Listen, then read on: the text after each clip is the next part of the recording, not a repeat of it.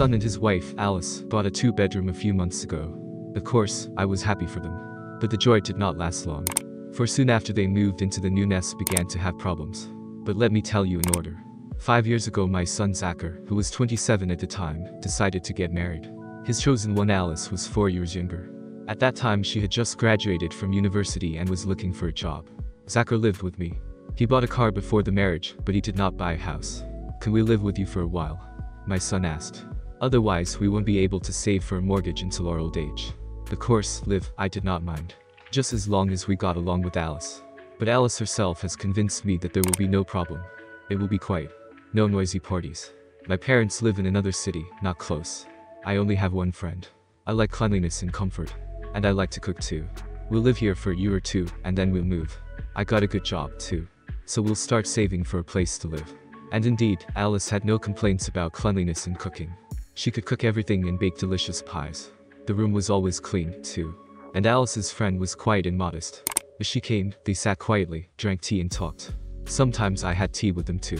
But the terms of living together turned out to be a bit different than planned. A year later my son and his wife had a daughter. Because of this, it was extremely slow to raise money for the first payment. Of course, I did not think about kicking the young people out. Where else could they go? That's how we lived. Alyssa was on maternity leave, doing almost all the housework. I paid the rent and supplied everyone with food and household chemicals. Of course, my son bought something, too, he could stop by the store on his way home from work. But I didn't insist on it.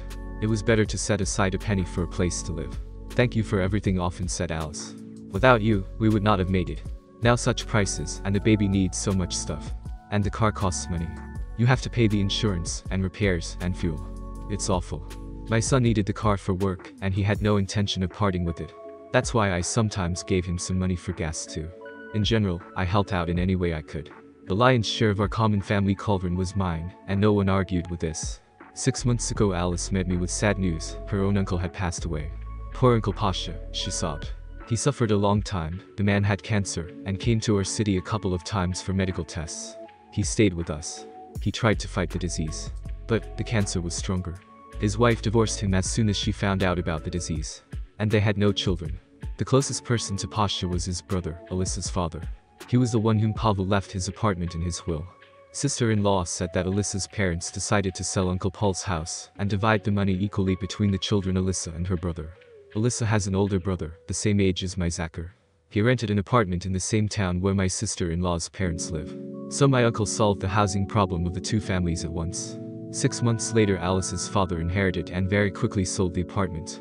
By this time Alice had already gone to work. She and Zachar collected all the necessary certificates and applied to the bank. Almost half of the cost of the apartment was paid by them as a down payment. My son then heartily thanked me for my help. But my daughter-in-law's behavior was completely different she just stood there smiling. Minimal repairs had been made in the apartment and Alice and Zachar had left money for the necessary pieces of furniture. We could move in and live.